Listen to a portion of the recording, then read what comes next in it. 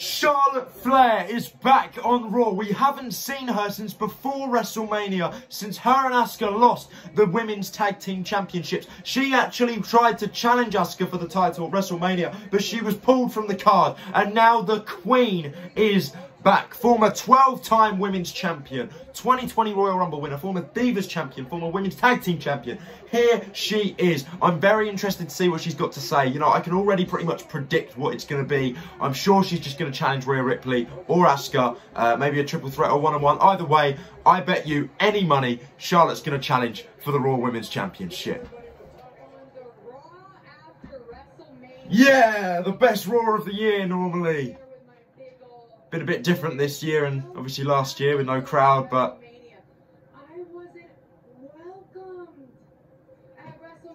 You're even removed off the poster. You've got a point. You clearly weren't welcome. I wasn't there.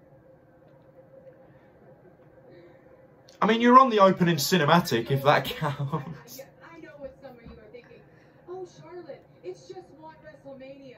Oh, Charlotte, you've been on five WrestleManias. No. I am a franchise player. I am a genuine superstar. And what I do in this ring is sacred to my family. And here's the thing, it's, it wasn't my fault that I wasn't on WrestleMania. No, it wasn't. WrestleMania for things that I could not control. It's unacceptable.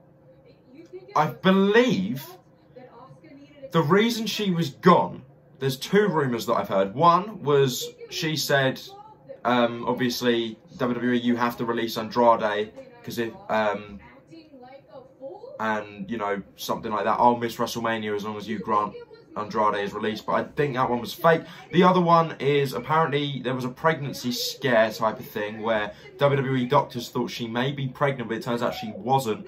And that's why she had to miss the time. But all of that could have been avoided.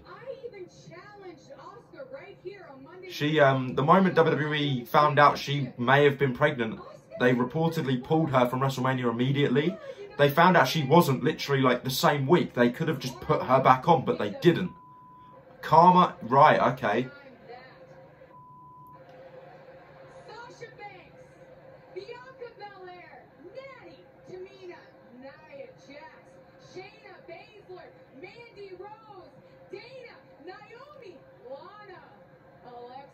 Naming most of the women that were on the card at WrestleMania, both nights.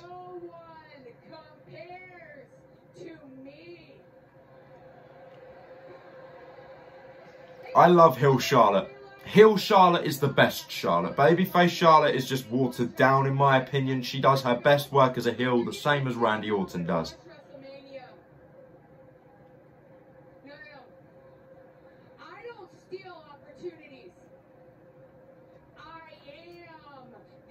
Oh, right, yeah.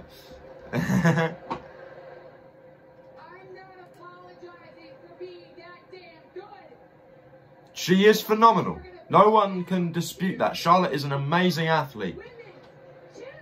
An amazing professional wrestler.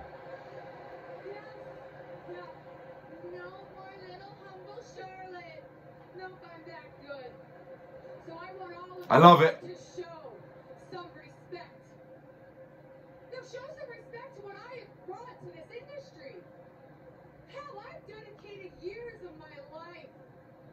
To this business. Years. Tears, blood, and sweat. Blood, sweat, and tears. And what have any of you given me in return? I mean, there's not a lot you can do. Exactly. I've given you some reaction videos. Mic drop. And there you go.